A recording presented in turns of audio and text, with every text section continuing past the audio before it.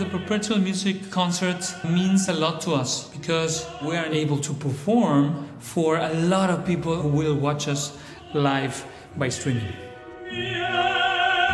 I think it had a very beautiful quality in terms of how we felt together on stage. If anything good comes from this, is to embrace this great profession that we have.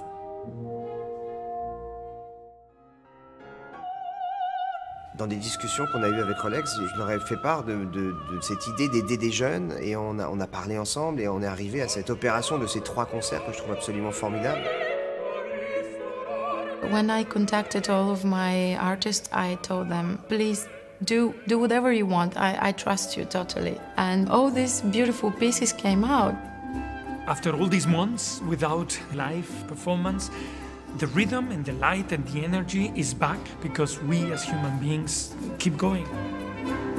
It's so great to have concerts like this, especially as an initiative to help performing artists to be with their public and to, you know, to enjoy again that performance and the connection.